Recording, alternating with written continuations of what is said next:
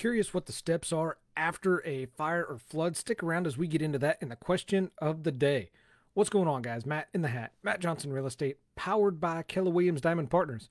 You are tuned in to the hot list. I come to you on Monday through Friday, each and every week around 12 o'clock Central Standard Time. We hang out and talk real estate. We talk properties new to the market with recent price reductions or something unique about the property that I want to share with y'all and want you all to know. I also answer a question of the day that is submitted by a listener of the podcast. And to find out how you get your question answered and on air, just hang out with me for a few minutes. And finally, I recognize and thank a sponsor of the week, week each and every week. This week is no exception. And if you would like more information on how you could be a sponsor of the week, supporter of the hot list, then you just got to stick around with me till the end.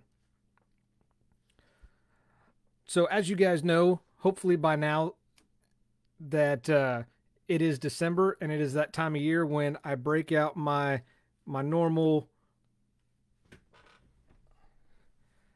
I change from my normal ball cap to my uh, my Christmas hats. My wife says that I have a few too many, but is is 12 really too many? I don't think it is. Uh, hopefully you don't think it is either. So let me know what y'all think about my my Santa hats. So I'm just going to jump right into it with the house that we're talking about today. Not only is it a newly listed property, it is a very unique property as well. The address is 1734 Road B2 right here in Emporia. It's a four bed, one bath house, has 1929 square feet of finished space, currently listed for 350,000 courtesy of Ek Real Estate. So what makes this property unique? Uh, is it the house? Somewhat the house. Is it the acreage? Possibly. Is it that it has an eight acre pond that's 30 feet deep? Definitely, maybe. So this house is a one and a half story farmhouse. Uh, sits on 24 acres, and like I mentioned, it does have an eight acre pond that go that's 30 feet deep at the deepest point. Plus, they hauled in a number of semi loads of sand, so they created your own personal sand beach on your own private pond. How badass is that?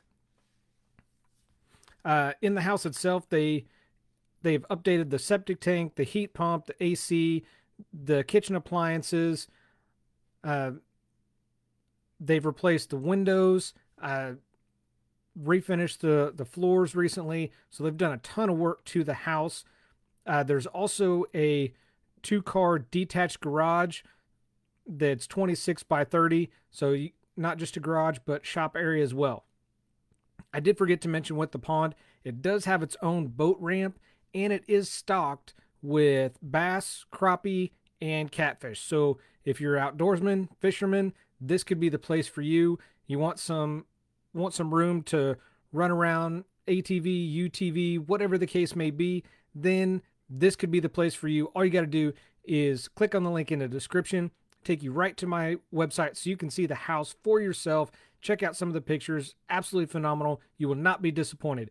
If you are pre approved, want to schedule a showing for this house, all you got to do reach out to me i would be happy to schedule a showing for those that are pre-approved uh, for any other questions please let me know i would be happy to answer what i can about the property before moving on to the question of the day i do want to recognize and thank our sponsor of the week this week and that is Brittain family chiropractic i've talked uh, a number of times this week about what Dr. Jacob and Dr. Lisa do. I can't say enough about what they do. They are in- incredible people, uh, have an incredible business. And I also learned this week, on top of the the acupuncture and the Chinese fire cupping, they also they also help with women women specific issues like hot flashes, menopause, and in infertility, uh, and that is combined with some of the the acupuncture uh, as well. I don't know enough about that, so that's all I'm going to mention about that. If you have questions, all you got to do is call, schedule your appointment with Dr. Lisa at 620 208 7550. Uh, or you can just click on the link in the description, take you right to their Facebook page, and you can get additional information, address, email. And I do want to add one one other quick note. If you're unsure what to get somebody eh, that has some normal aches, pains, uh, right now Brittain Chiropractic is and does have gift vouchers, gift certificates available. So if you've thought about getting somebody some adjusting or maybe some type of acupuncture, this could be a perfect gift for for you to give to them and they can do they can schedule their appointment and see what what they can get done. So, all you got to do is just click on that link in the description. It'll take you to their Facebook page and you can get additional information right then and there. If you're interested in being a sponsor of the week and supporting the hot list, all you got to do is shoot me a message wherever you're listening to this. I would be happy to have a conversation with you, see if we are a good fit for pairing up and making you a sponsor of the week. And that brings us to the best part, my favorite part of the show, and that is the question of the day. The question of the day is submitted by a listener of the podcast Monday through Friday, each and every week for over a year now. You've been submitting your questions to me, and I do my best to answer answer what I can and do some research as well. Uh, question today, I did have to do some some research on, uh, and it was actually brought up because of the topic we talked about yesterday which was you know cleaning cleaning the fireplace flue. So question of the day: You brought up potential fire because of a fireplace not not cleaning it. What happens after a fire or a flood? Uh, and I'm I'm glad that somebody brought this question up. I have personally not been through either one. I've been through tornado. I've been through hurricane. Uh, so for this particular one, I wasn't able to speak from personal experience. I've reached out to people, insurance agents, uh, people I know, and then just some general research. to say the least, whether it's fire, flood, excuse me, or other type of disaster, the the end result and what happens can be absolutely devastating and can truly be emotional. Again, not having been through it, I can't even imagine the amount of motion, emotion that is accompanied by this just seeing everything that that you that you own god forbid anything happen to one of your family members in an event like this no doubt that it's going to be a huge job to go through recovery after some type of disaster so after, you know, it doesn't matter if it's a fire, flood, or disaster, restoring your home can be a huge undertaking and is not to be taken lightly. Just the task itself, upon looking at what is left of, of your home, from again, from what I've been told, is just so overwhelming, and the task just seems so daunting like it's never gonna never gonna happen and never going to be the same. Hopefully things aren't as bad as they appear for for your sake for your family's sake. So whether you're going through this or you just want to be prepared for worst case scenario today we're going to talk about five basic home restorations after a fire or flood so number one be prepared for a shock. I've mentioned this a couple times already. So no matter what the disaster, fire, flood, whatever whatever other type of disaster, going back into your home for the first time is going to be emotional overload. Uh, everything about it is just going to shock you. You're going to be in a state of shock and emotion, and it can be overwhelming. Even if the actual damage is minimal, your personal items, maybe your your your furniture, you have some family heirlooms or keepsakes, may be scattered or even damaged. And let's not forget let's not forget the smells, especially you know fire, flood. These can be overwhelming on their own because they're going to be very strong. You may have with the fire, you may have a combination of wood of smoldering or or smoke with the flood you can look at having some type of mold mildew smell to it and this only adds to your emotion or this may be what triggers your emotion to begin. So you got to be careful with this and just know it is going to be emotional. I would recommend not getting to work right away. Just from the people that i've spoke with they all advise that it's to take time necessary and needed to accept what has happened and what you're what you're seeing. You need to give yourself time to calm calm down after that initial rush of emotion, kind of comprehend what it is that happened and what you're looking at. And that takes us right into number 2, which is talking with your insurance company. Before trying to clear out your home or even begin repairs, you have to speak with your insurance company. You need to find out what the process is to make make a claim. Take pictures. Don't just rely on the claim adjuster to take pictures because your insurance company is going to send somebody out to take their own set of pictures you need to take pictures and document as well. Take some additional pictures, just keep them for your own records. And that way, if there's something, you know, hopefully they get it all, don't leave something out. But if there's something that doesn't look right or maybe for, have forgotten, you have your own pictures to reference and bring up. Also, avoid moving items if possible because you want to leave everything as as best you can where where it's at so they can see the extent of the damage because you want your pictures to show the home as it is in that current condition.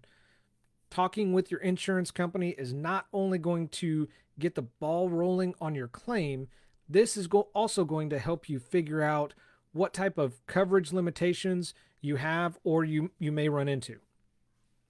This could also aid you in deciding exactly how to approach the restoration process. So that's absolutely key as well. Number three is dealing with water. It doesn't matter if it's from a flood or fire hoses, water in your house it equals bad news bears. Hopefully, y'all are old enough to remember that movie. The original one with Walter Matthau, not the new one with Billy Bob Thornton. Just like most, original much better. Just side note there. And this is bad news because water can warp or do other types of damage to wood and other materials. This also creates an environment for bacteria, mold, and mildew. Usually, there are some type of pumps that are going to be needed to remove standing water, especially if you have a basement or crawl space. So, you can put a pump in there and uh, start moving that water out as as best you can. Then on afterwards, you're going to need some type of dehumidifier in the rooms that have water damage to help reduce the that mold mildewy smell. If you have ceilings or walls that have that have had some severe water damage, you may need to bring in some additional support structures and put those in place. Hopefully the damage isn't to that extent, but you never know. So you you want to make sure because you got to be careful when you're walking through and don't want to enter until first responders give give the go ahead and the all clear to start walking through. Uh, with those additional supports that may need to be brought in, that's going to keep your ceilings as well as your walls from collapsing or even buckling on themselves. And of course, you don't want to add insult to injury. So the electrical is typically still going to be on unless somebody's cut it somewhere somewhere else. So to avoid potential electric shock, I don't know about you, I've been shocked plenty of times. I've been hit with 110, 2 220 and 4 480. Uh, thankfully the 480 blew me back into a wall. So shut off the main breaker until all the water is gone.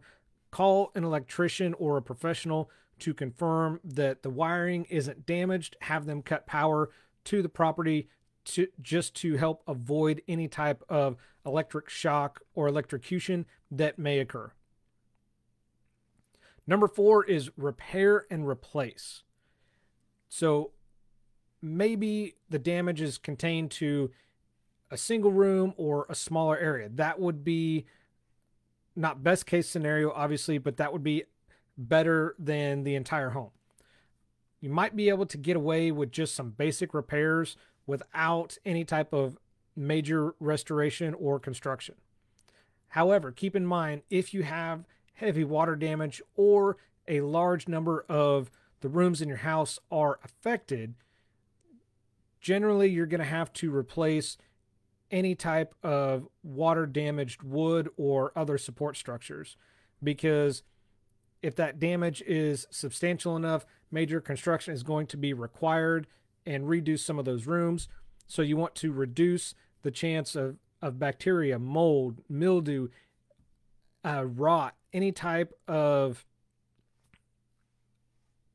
any type of potential issues that could come back around to haunt you.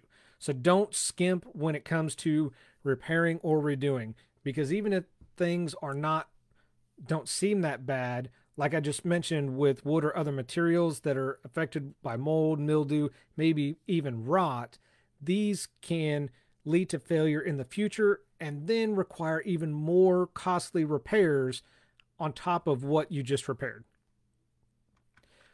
And that brings us finally to number five, which is check the outside. Till now, we've really focused on the interior. What about the exterior of your home? You need to check for external damage uh, because, like I mentioned in the previous one, if you ignore it or don't come across it, it might set you up for failure in the future and cause you more more costly setbacks and more just more costly repairs. If you have damage to your roof, your siding, maybe even brick, this could lead to further water damage or ongoing issues over over time. And then you're going to have to look at replacing all of that as well. So when you're doing a thorough inspection of the exterior, this should help reveal any potential issues. Hopefully you can find those, locate those before they turn into major problems. So that's that's the the top 5 basic home rest, restoration. You've got again, number 1, be prepared for the shock because it is going to be an emotional event because this isn't just a house, this is your home. This is the roof over your head where you've raised your your kids, you know, you got married. It's going to be an emotional event. Just keep that keep that in mind and make sure that you have somebody to to lean on. Number 2, talk with your insurance company. They're going to take pictures. I still recommend from the people I've spoke with take your own pictures as well. That way, in case something is missed, then you have documentation. Avoid moving things as well because the insurance company wants to see your house as it is in its current condition. Number three, dealing with water, whether it's a flood or fire hoses, water is bad news for a home. You need to get it pumped out, uh, check the structural integrity, and may need to bring in some additional supports as well as get somebody out there, some type of electrician, to get the power shut off and reduce the chance of electrocution. Number four was repair and replace, whether it is one room or a large number of rooms in your house. Uh, anything that's been damaged from fire, electrical, water needs to be pulled out, removed. You don't want to just skimp on this and leave some materials that could potentially lead to mold, mildew, or even susceptible to rot down the future in, down the road. And finally, you need to check the outside because if you don't find something or ignore the outside of your house, like your your roof, your siding, if you have brick, ignoring these issues could lead to leaks or more extensive damage in in the future. And when you're going through this, there's going to be a lot of work requ- work required during this restoration project. For some of us, you know, some of us DIYers, it can be it can be done. Uh, if on the other side of that, because it's emotional, you may not be able to, or you may not want to continue to do it on your own. There's no shame in calling in a professional for help or advice. This is what they do. There's a lot of professionals that specialize in restorations from from fire or flood. They know exactly what they're doing and they know how to work with insurance companies to get these repairs done effectively and in a timely manner. So that's that's it. That's what I got for you guys today in the hot list. So thanks for watching with Matt in a hat. Matt Johnson Real Estate, powered by Keller Williams Diamond Partners. I do this because your experience matters and should be trusted with a veteran. You guys have an awesome day. I'll see you back in here for Red Friday tomorrow and a new Santa hat. Take care.